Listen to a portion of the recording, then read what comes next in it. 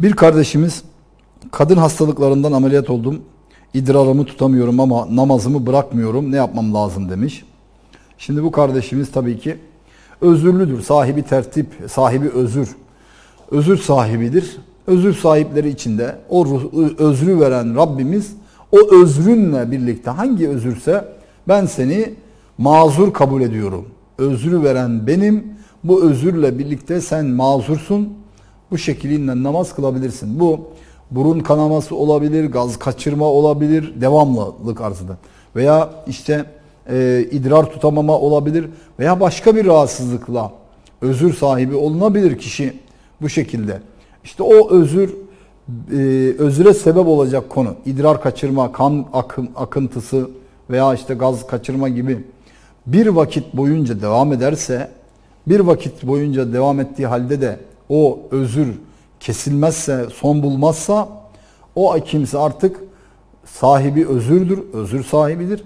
O hal devam ettiği üzere devam ettiği halde abdestini alacak, namazını kılacak. Velev ki burnu kanasa bile, velev ki gaz kaçırmaya devam etse bile, velev ki işte idrarını tutamayıp idrar kaçırmaya devam etse bile o hal üzere namazını kılacak ama ne yapacak?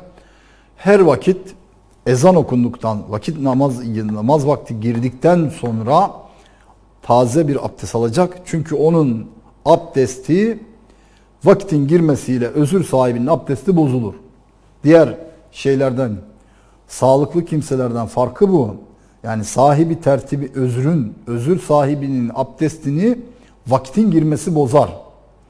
Ya işte ben abdest bozacak bir şey yapmadım dese bile özürümün dışında abdest bozacak bir şey yapmasa bile sadece vaktin yeni bir vaktin girmiş olması onun abdestini bozmaya sebepli yeterlidir.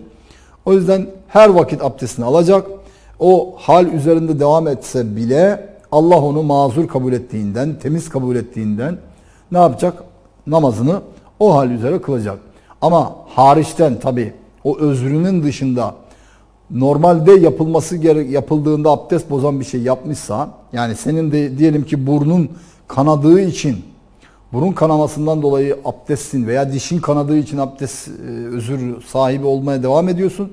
Ama e, onun haricinde tuttun e, tuvalete gittin idrar yaptın veyahut da efendim bayıldın işte e, uyudun. Bunlardan sebeple abdest tabii ki bozulur. İlla senin abdestin sadece yeni bir vakitin girmesi bozar başka bir şey bozmaz anlamına da gelmez orayı da e, ne yapmalı E, beyan etmeli etmemiz lazım.